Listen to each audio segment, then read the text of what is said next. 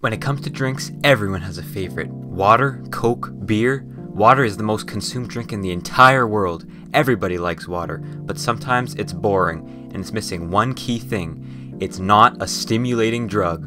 Boring! If you ignore water, then the two most consumed drinks worldwide are drugs tea and coffee.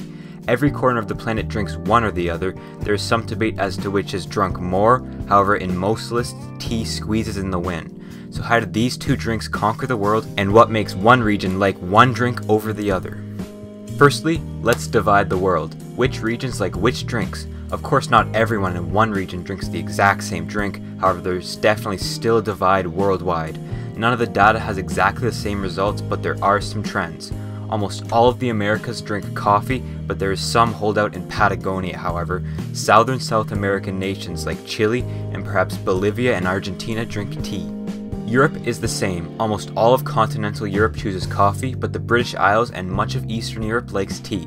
Even though Arabia is known for their coffee houses, most of the Arab and Middle Eastern countries like tea. The exceptions are Algeria and Tunisia, which were under coffee loving France's control for a long time. In Africa, the data gets a little fuzzy, but in general, most countries like coffee, no surprise since a lot of it is grown there. The African tea communities mainly in once Arab or British colonies like Nigeria, South Africa, and Sudan. Other British colonies like Australia and New Zealand adopted tea just like the homeland. Finally, almost all of Asia drinks tea, besides some Southeast Asian nations like Thailand and the Philippines.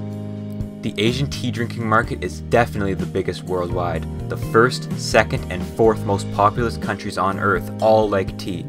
Now that we have a world map that looks roughly like this, up for debate but in general it is this map, comment down below if you agree with this. The country which drinks the most tea is Turkey at 3.2 kilograms annually per capita.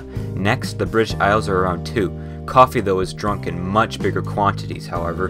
The country which drinks the most coffee is Finland at 9.6 kilograms annually, followed by other Nordic and North European nations. What made these two drinks so popular though, and why is the world separated into these two regions? Let's start with tea, as it has been drunk longer than coffee. Tea originated in around South China, North Myanmar, and Northern India, which already explains why the two most populated countries drink it. The earliest evidence of tea drinking dates back to the 2nd century BC Han Dynasty, although in China it was used as a medicine and then later as a stimulant.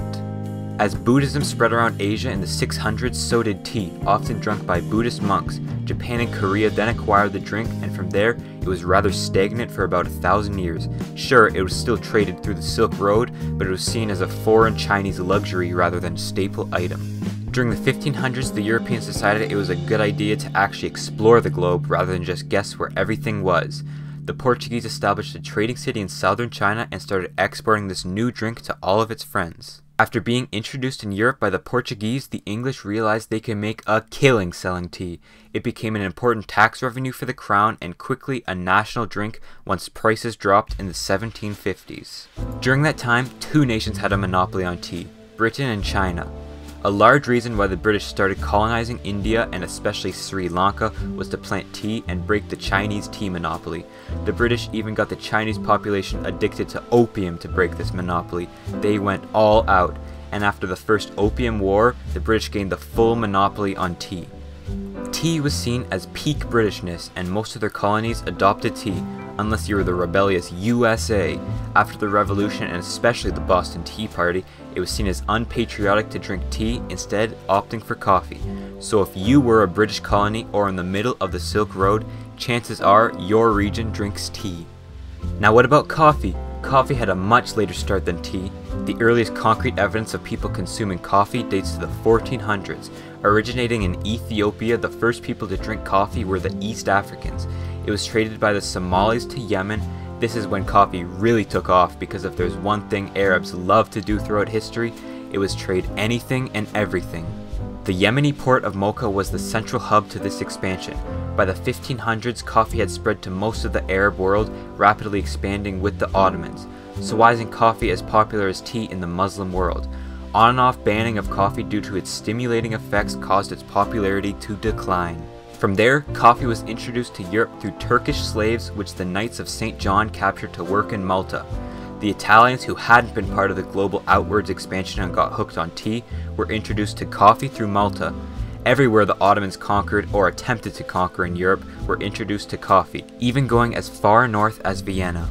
Venetian traders were introduced around the same time, and it was there where Europe's first coffee house opened. Italy, known for being the center of Europe's high-class art and cuisine, developed many different types of coffee types we know today. Espresso, cappuccino, macchiato, and latte. I can tell you none of those are Arabic or Turkish names. Turkish and Italian traders then spread the drink to the rest of Europe, it caught on well, and most of Europe ended up loving coffee. Through the global empires created by the Spanish and Portuguese, coffee spread extraordinarily well in Latin America and the Philippines. These climates were already suited to growing coffee, supplying the European nations with the beans became a major export. Nowadays, it is grown in tropical regions with enough water and heat to grow the plant. Places like Brazil, Southeast Asia, and Sub-Saharan Africa are the main exporters of coffee. So if you're European, tropical, or anti-British, chances are you drink coffee. Throughout both of their histories, both coffee and tea played a huge role in the social aspect of life. Formal ceremonies in China and Japan drunk for special guests and special occasions. Special cups to hold tea are often used like the podstakannik in Russia or fine china teapots in much of Europe. In Middle Eastern countries, tea replaces both the alcohol and coffee social aspects of life, and in Britain, a standard afternoon tea is commonplace. Coffee is much the same, it is the social drink of the Americas and Europe, Cafes have dominated Europe's social scene since the 19th century. France and Austria are known for their high quality cafes where locals would engage from all over the city and read local news. Cafe society and cafe culture was developed through them, sparking exchange in ideas and culture. Even nowadays, Europe and America have a strong cafe culture, with franchises like Starbucks running America's cafe scene. The drinks really are part of modern day life. Tea and coffee are the most popular drinks in the world. Which one is more popular, however, is a debate for another day. What is true is that they are both drunk around the world and are both extremely popular. Tea is drunk by ex-British colonies and most of Asia, whereas coffee really took off in Europe, the Americas, and tropical areas. Their caffeine boosts made them enticing to all populations on Earth, and through vast histories of trading, they are able to find their way into every single civilization's markets. With a major social aspect around drinking these beverages, they played a significant role in almost everywhere's social life. In a divided world split into roughly equal tea and coffee drinking factions, the question still rages on tea or coffee?